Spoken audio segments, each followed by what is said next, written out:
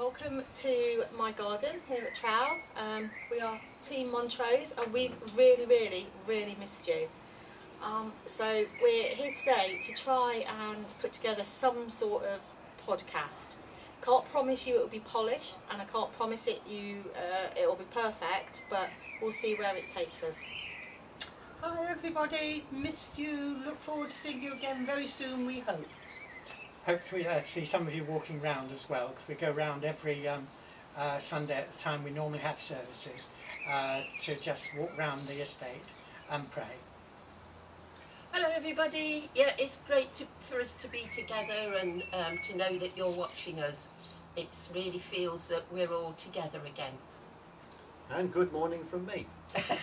or afternoon or evening or whenever you're watching this. So I think for the last 12 weeks, three months, I think we've all felt very alone um, one way or another. And I think some people more than others. Some people have been completely on their own for 12 weeks, and other people have had family around them. Um, I think the thing that's um, uh, struck me the most is even during the times where I have been on my own, and I have been very blessed, I've been quite involved with the food bank, so I have been getting out and about and I've been seeing people from a distance, so I've never felt truly locked up. But I think what has struck me during the times when I am on my own, I am on my own home or in the cellar or wherever I'm on my own, is that actually we're not alone and God is always with us. And I think sometimes we forget that or sometimes we ignore that but that is just the, one of the promises that we have in God that He is always with us and we are never truly on our own.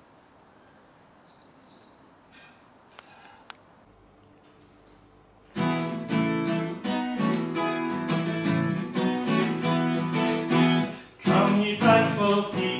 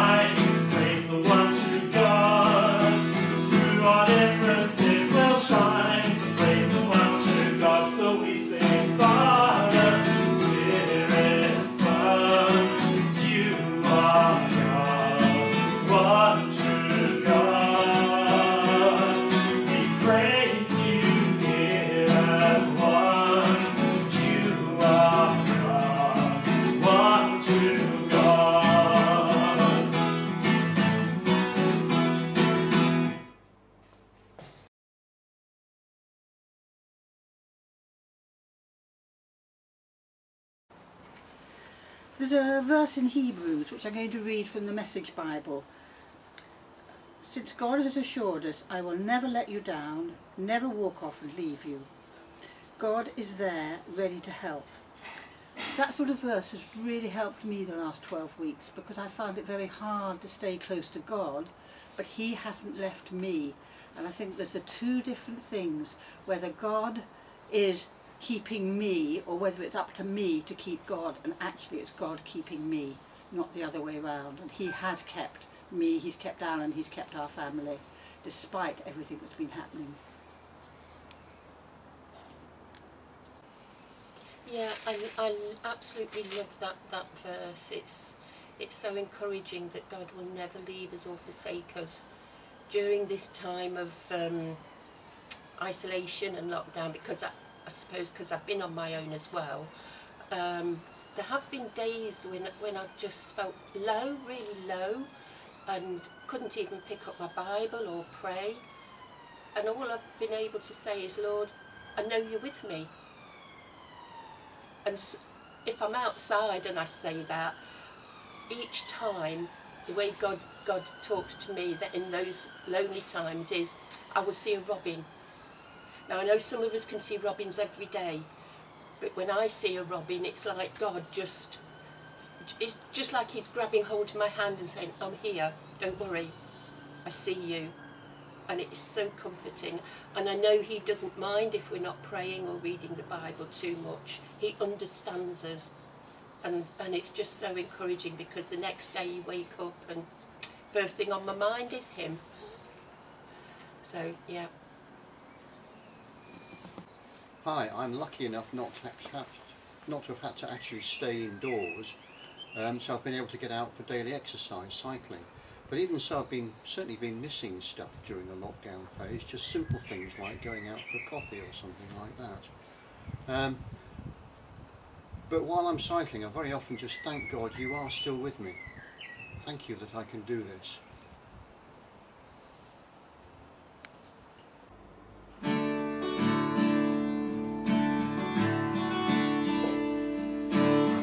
Praise a hallelujah in the presence of my enemies. Praise a hallelujah louder than my unbelief.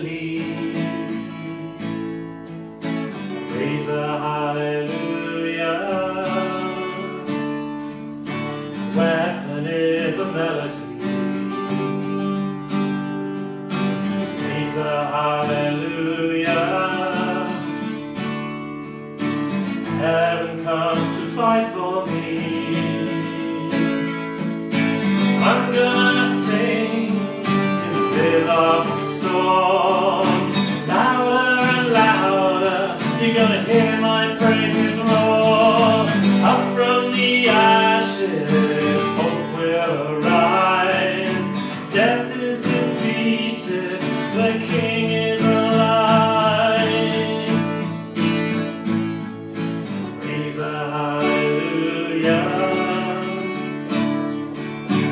Everything inside of me. Praise a hallelujah. I will watch the darkness flee. Hallelujah. In the middle of mystery.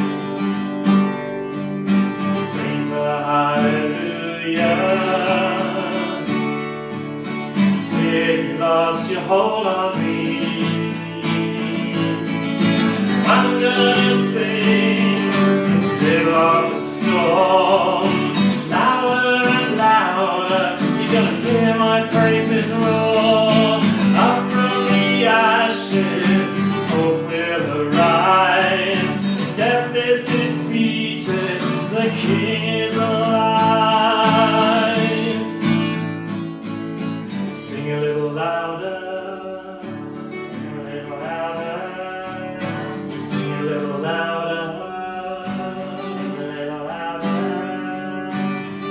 little louder, sing a little louder, sing a little louder.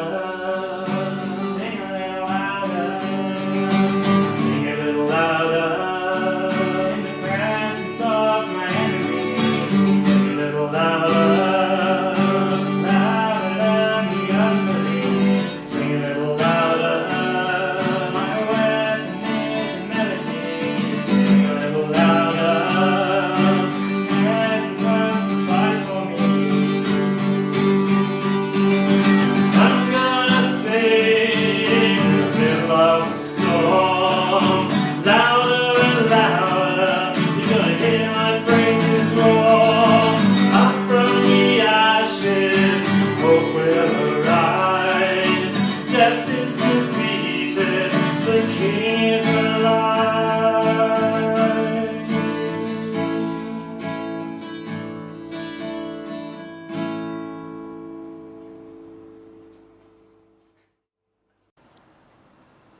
always have the Lord's Prayer, so we'll pray it now. Our Father, who art in heaven, hallowed be your name. Your kingdom come. Your will be done on earth as it is in heaven. Give us today our daily bread, and forgive us our sins, as we forgive those who sin against us. Lead us not into temptation, but deliver us from evil. For the kingdom, the power, and the glory are yours, now and forever. Amen. Well, I hope you've enjoyed our um, unprofessional attempt at a podcast. Um, we didn't promise you polished and we didn't promise you perfect, and I think that's probably what you've ended up with. Um, we've definitely enjoyed getting together as a team and being able to see each other again, and we really can't wait to, to get in, into more contact with you guys. Um, we really have missed you a lot.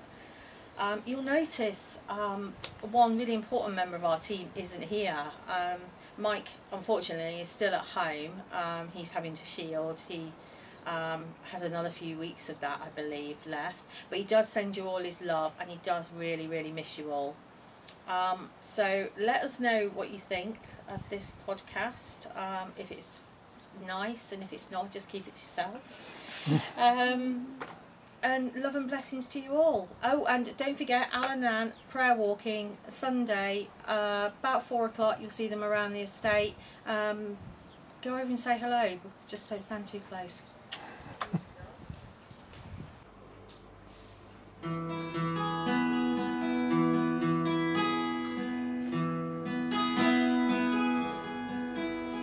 May your life in this world be a happy one.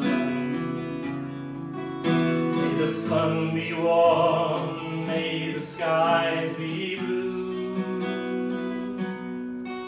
May each storm that comes your way